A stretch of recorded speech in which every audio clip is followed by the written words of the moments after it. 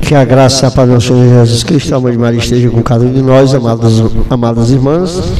Mateus 24, 45 diz assim: Quem é, pois, o servo fiel e prudente, que o Senhor continuou sobre ele, constituiu sobre ele uma família para lhe dar alimento num momento oportuno.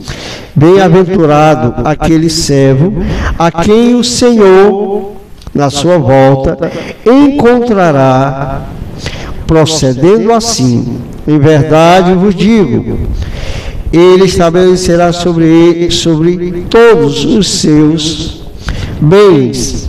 Mas se o servo, a qual imagina consigo, meu senhor tarda vir, se põe a beber, a bater em seus companheiros, a beber e comer com os ébrios.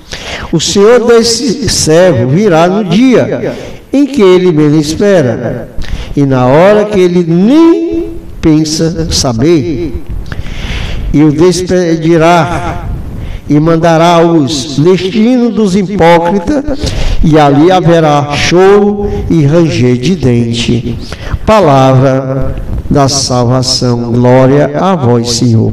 Então, nesse evangelho, Jesus está dizendo para nós que nós devemos ter cuidado, ser prudente, cuidadoso naquilo que o Senhor nos confia, para que no momento certo nós não sejamos pegados de surpresa e aí, o destino daqueles que o Senhor confiou a casa, a família, a missão, que não procederem de acordo com a vontade de Deus, Deus diz que ele será colocado né, como os infiéis, onde arranger choro e ranger de dente.